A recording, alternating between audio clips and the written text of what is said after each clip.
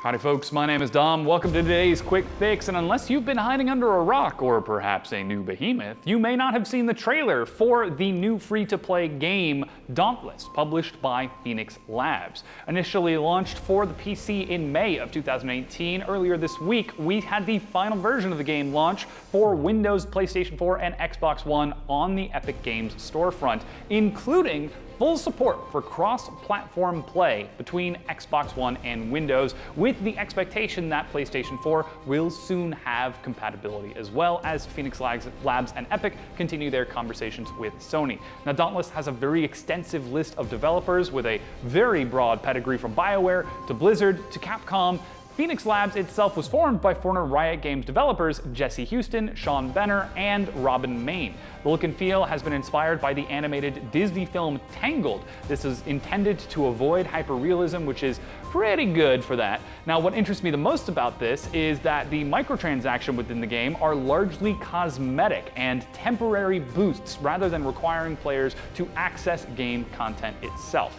Jesse Houston has stated it was important that the player gets shown wearing rare armor or weapons in the game, but they got those through skill and not by having a deep wallet. Now, in a desire to create a clearer relationship with content being purchased, Phoenix Labs is offering a battle pass system using hunt and season passes, providing a rotating set of cosmetics and emotes.